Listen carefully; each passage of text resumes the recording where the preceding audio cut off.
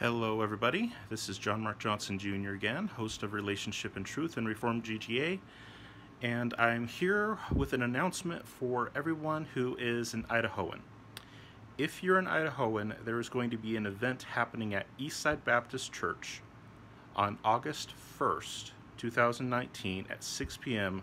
that you are definitely going to want to be a part of. It's the Eastside Baptist Church in Twin Falls, Idaho at 6 p.m. August 1st. It's a Thursday and what they're going to be doing is they are going to be basically spearheading an abortion human rights act.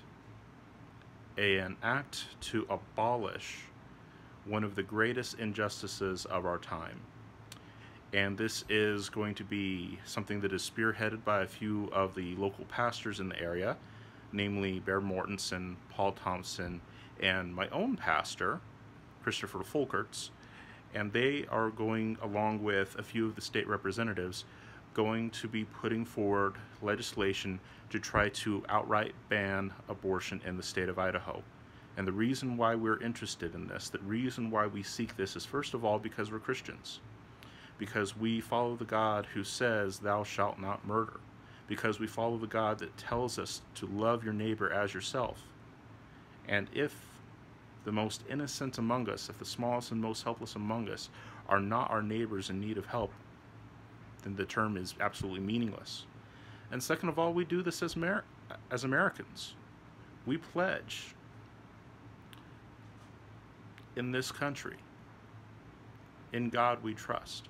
We pledge in this country that we are one nation under God with liberty and justice for all. And yet, in this nation, we have allowed approximately 60 million of our own citizens to be murdered in the womb.